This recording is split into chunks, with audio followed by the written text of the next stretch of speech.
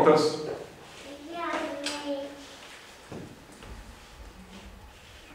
ir energija. Tas sulėjimas gali būti juntamas, patiriamas tik tai tų, kurie yra tiesiogiai kilę iš rojaus trejybės. Arba yra įveikę visą tą evoliucinį kelią iki pat rojaus trejybės rojuje, net nuo pačių žemiausių tokių planetų, kokia yra mūsų apgyvendinta Urantijos planeta. Reiškia, mes tą absoliutų energijos, proto, intelekto ir dvasios apjungimą patirsime tokiu lygiu, tik tai sukaupę milžiniškų ir niekada nesikartojančių patyrimų. O patyrimas tai yra iššūkis.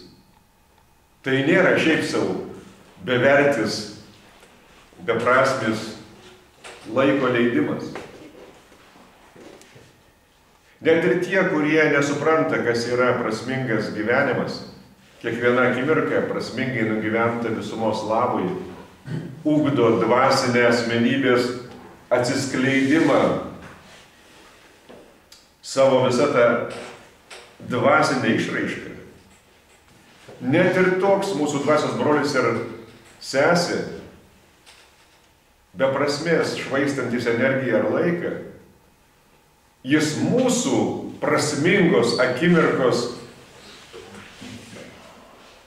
ir sampratos dėka iš tikrųjų junta poveikį. Junta poveikį panašiai kaip žmogus gyvenantys savartinė patektų į nuostabius išpuoselėtus švarius rūmus, kur parketas blizga, ne vienos dulkelės, ne tai jau, kad būtų šiukšlių. Ir tas šiukšlyno gyventojas, jis nebesijaučia taip, kaip šiukšlynė. Jis neturi įgūdžių palaikyti švarą, net ir savo viduje. Bet jisai jaučia poveikį tų švaros rūmų. Ta jaučia protas. Protas, kuris nėra treniruotas, nėra sukaupęs įgūdžių, kaip gyventi švaros gyvenimą dvasioje, bet vis tiek jis jaučia įtaką. Tai čia materialus pavyzdys. Bet lygiai taip pat iš mūsų skrendantis aukštes, aukštesnio dažnio virpesiai veikia visus šiukšlynų gyventojus, visus benamius, visus nusikaltelius, veikia patekdami į jų pasąmonę, kaip aukštesni ir juos valantis virpesiai. Energija yra nesustabdoma materijos. Kokia be būtų milžiniška užtvara materialia prasme, mūsų energetiniai virpesiai ją perskrodžia kaip peilis per sviestą. Tai nėra kliūtis. Todėl, kuo mes daugiau įdedame pastangų, pastangų, kryptingų pastangų, tuo aukštesnio dažnio virpesiai įsiviešpatauja mūsų prote. Tuo ryškesnė išmintis pasireiškia mūsų mąstyme ir veiksmuose. Ir visa tai iš mūsų spinduliuojama virpesiais, kurie veikia aplinkę. Todėl dabartinė žmonija su jauktais protais, be jokios išminties, daro viską, kad jis save nuskriaustų, kankintų, kad įgyventų visą laiką įtampoje, nerime.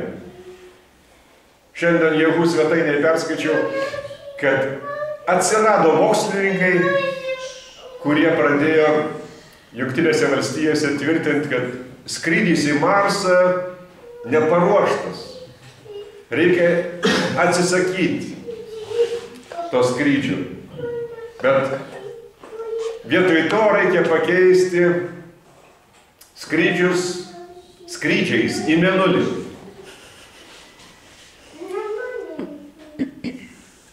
O dar geriau, reikia pagauti asteroidą ir jį atgabenti iki Menulio ir padaryti jį Menulio palidovu.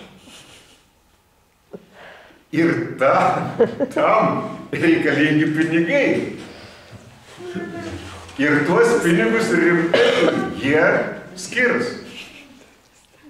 Obamos administracija nusprendusi siūsti į Marsą žmogų. Jie nesutinka su tokia dabartinė mokslininkų kontrpozicija jų programai. Bet ir vienu ir kitu atveju tai yra milžiniški pinigai. Dėl to jie sako, reikia bendradarbiauti su Kinija, kuri taip iššoko į aukštį kosminėme tyrinėjime. Bet ar prasmingas tas darbas? Kada žmonės neturi užimtumo, kada neturi supratimo, kas yra vertybė, kas yra prasmė, ir dabar taip švaistyti pinigus. Ir ne šiaip savo, dabar jie įsintė į Marsą tą robotą, ta programa kainavo 2,5 milijardo dolerių. Na kas iš to? Ar nuo to tapo žmogus geresnis vienas kitam? Ar jis tapo šviesesnis? Rojuje, aš sakiau, yra absoliuti vienovė dvasios, intelekto ir energijos. Kada čia nėra dvasinio pamato, tai va tokias programas kūrė žmonės, tada leidžia tuos reikalingus, iš tikrųjų labai reikalingus resursus žmonių gyvenimui, kasdieniam gyvenimui, svaičiajimams. Ir liūdna tai, kad tie žmonės tiki, kad tai reikalingi tokie darbai. Kartos taip nugyvena mokslininkų, kurie bergžiai buksuoja kaip ant ledo automobilis. Ir jie nugyvena tą gyvenimą, manydami, kad prasmingai nugyveno, prasmingai dirbo. Štai dėl to, nesant dvasinio pamato, darbai iš tikrųjų tampa be prasmės. Lėšos švaistamos be prasmės. Ir kasdienybė praeina iš tikrųjų nevertinant akimirkos prasmės, nesuvokiant, kad šviesa nėra tai, ką rašo filosofai, kad šviesa nėra tai, kas yra intelektualiai pateikiama pačių didžiausių dabartinių pripažįstamų žmonijos autoritetų. Šviesa yra tai, kad tu pajauti savo viduje atsiverdama šviesos šaltiniui ir centrui. Kol tu nesi atsivėręs šitam išminties šaltiniui, tu net ir išmintingą mintį, kuri išminties derintojo, kuris yra šviesos šaltinio ir centro, centro fragmentas mūsų prote, tą mintį gali nuvyti šalin, kaip tau nereikalinga, nors ta mintis bus šviesos mintis, bet tu jos net pažinsi, kad ji tau reikalinga, kad ją puoselėtum ir vystytum. Todėl gyvasis kelias ir yra sumanytas, kad mes jame atsiremtume į dvasinį pamatą, kuris niekada kaip šaltinis nesikeičia. Jis visada yra pranokstantis bet kokį intelektą, bet kokią energiją, bet kokią išmintį, nes jis yra pats šaltinis ir centras ir išminties, ir energijos, ir proto. Todėl tik tai atsiremdamas į šito šaltinio vedimą iš vidaus ir mokslininkas gali kurti išmintingas programas, jas įgyvendinti bendradarbiaudamas su to pačiu šaltiniu ir tuo pačiu pajausdamas brolystę, kaip ir kiti dvasiniai broliai ir sesės toje pačioje planetoje veikia taip pat šviesos labui kitose sferose. Ir atsiranda kryptinga veikla, o ne šiaip. Kiekvienas tempia apkalotą tik tai į savo pusę, kad jis pradeda plyšti, o jo kiekvienas nori vis didesnio gabalo atsiplėšti savo ir kitų sąskaitų. Be gyvojo kelio niekaip šito neįmanoma harmonizuoti. Niekaip negalima sureguliuoti, subalansuoti. Neįmanoma. Ir kad ir ką jums kažkas sakytų, kad kultūros vystimas, moralės vystimas, proto vystimas išspręs visas politinės, ekonominės, visuomeninės problemas, tai netiesa. Neišspręs. Atsirastų problemų tik dar daugiau, kaip ir Ukrainos problema prieš kelis mėnesiusgi nebuvo. Ta padarė neišmintingas žmogaus nusigręžusio nuo kūrėjo grinas intelektas savanaudiškų pagrindų. Ir niekaip šitos problemos negalima įspręsti, kad ji nebebūtų tokia, kokia buvo prieš kelis mėnesius. Sudaužyto puodo neįmanoma suklyjuoti, kad nebūtų siūlių, per kurias tekėtų vanduo. Vis tiek sunksis, anksčiau ar vėliau.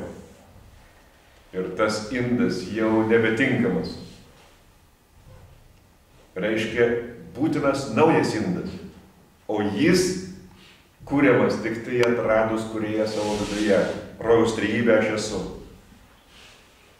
Ir atsidavus rojaus trejybės aš esu vedimai iš vidaus. Kito kelio nėra. Kad ir kokie būtų Putinai, Grybauskaitės, Butkevičiai.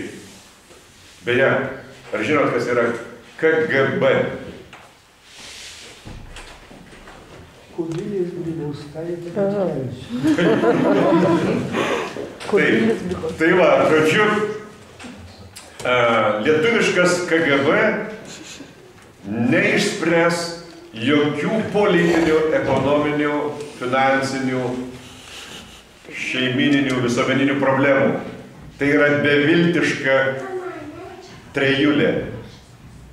Beviltiška. Kaip ir visos partijos yra beviltiškos.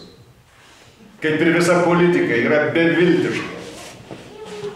Visa ekonomika yra beviltiška.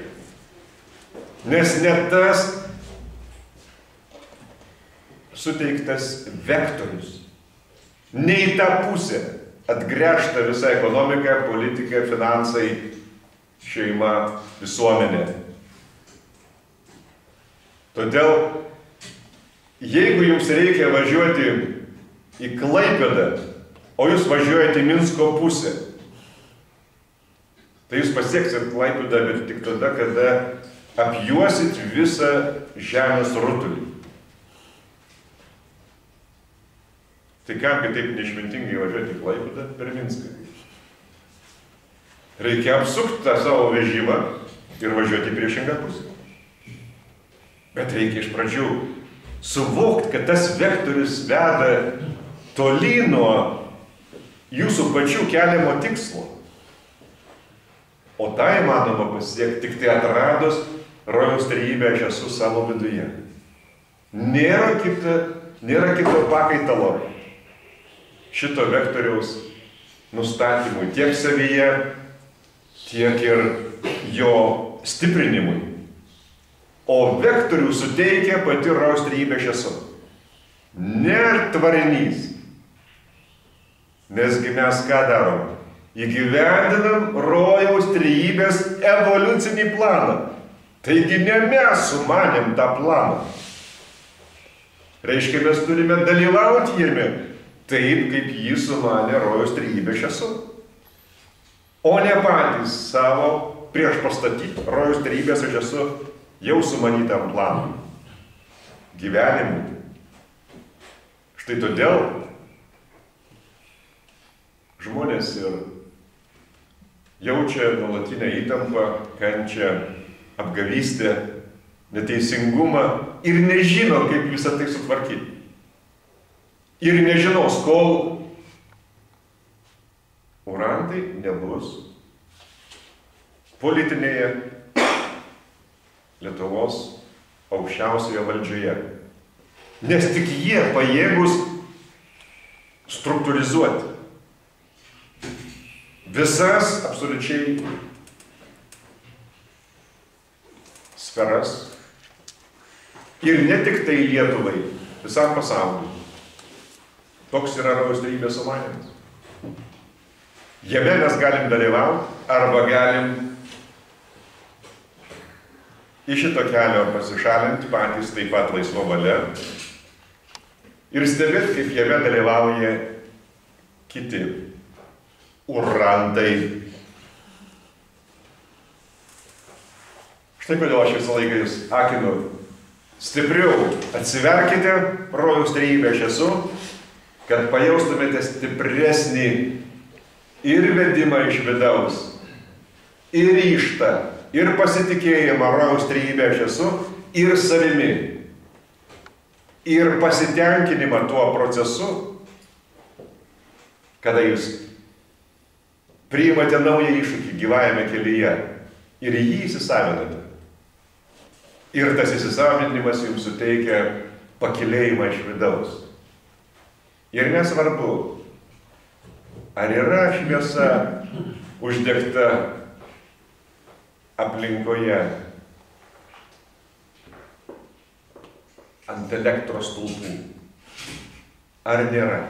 Jūsų viduje turi būti šviesa, kuri pranoktų išorinę elektros lempa pakabinta ant materialaus stulpo.